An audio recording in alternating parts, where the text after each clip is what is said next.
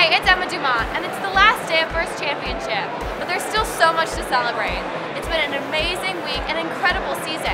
So let's go find out what people are most excited about.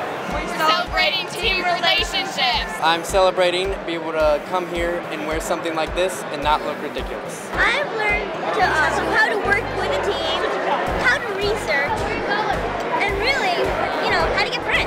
This week I'm celebrating my awesome mentors. What we're celebrating is just being able to see all the teams here and just building relationships. What are you most excited about?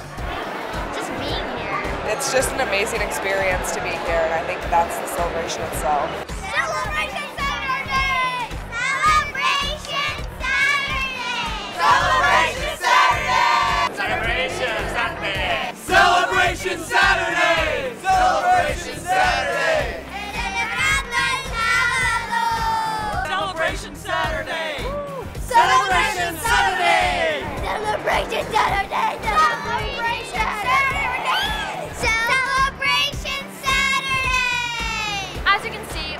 About more than just robots, and you really do get what you celebrate. Congratulations to all the teams.